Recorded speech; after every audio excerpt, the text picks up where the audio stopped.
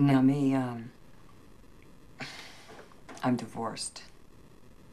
Twice, actually. No kids, fortunately. I guess. Fortunately.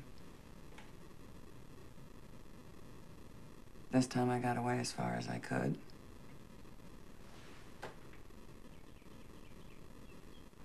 I like the country and being near water. So here I am.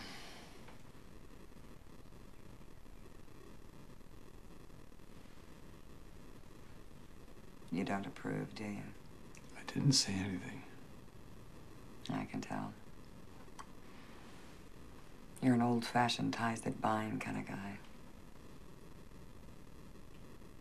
Whatever happens, you stay the course, isn't that right?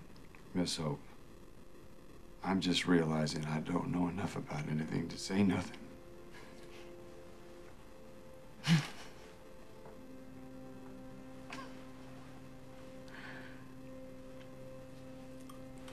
It's Connie.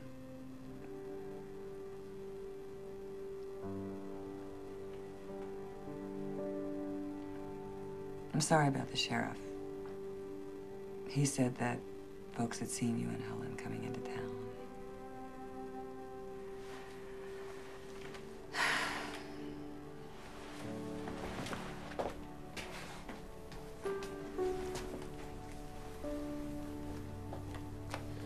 This is uh, my number at the hospital, the clinic, my beeper. Keep me posted.